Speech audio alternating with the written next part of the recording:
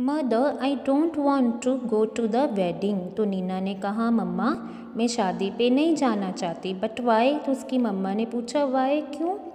Neena set nothing Neena ने कुछ नहीं कहा. Instead two big tears roll down her cheeks tears means होते हैं बेटे आँसू.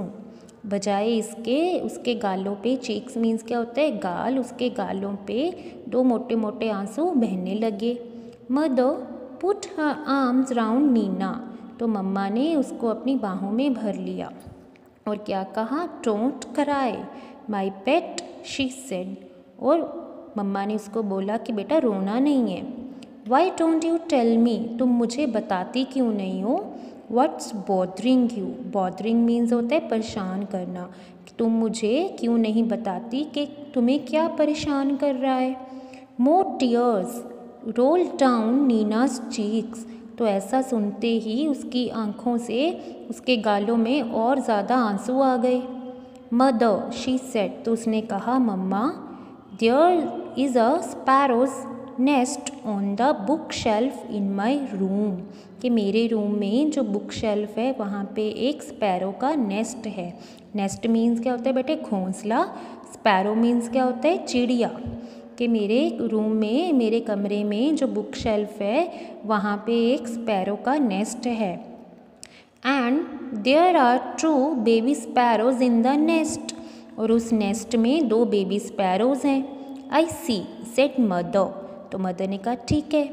They are just beginning to get their feathers beginning means होता है शुरुआत होना। They are just beginning to get your feathers that means कि अभी अभी वो इतने छोटे हैं कि अभी अभी तो उनके जो फैदर्स हैं, जो विंग्स हैं, जो पंख हैं, वो आने शुरू हुए हैं। And growing up makes them so hungry hungry means होता है भूख लगना। तो जैसे जैसे वो बड़े होते जाएँगे, उनको भूख लगेगी।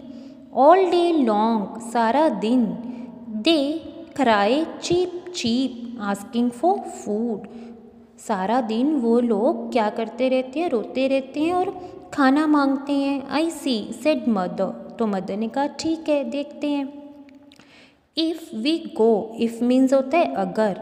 इफ़ वी गो अगर हम चले गए the whole place will be locked locked means ताला लग जाना होल मीन्स सारा। अगर हम चले गए तो जो हमारा घर है, जो सारी जगह है, इसको ताला लग जाएगा। And how will how means होता है कैसे? And how will papa and mama sparrows feed their babies तो जो पापा स्पैरो है और जो मम्मा स्पैरो है, वो अपने बच्चों को, अपने बेबीज़ को खाना कैसे फ़ीड करेंगे? उनके खाना कैसे खिलाएँगे?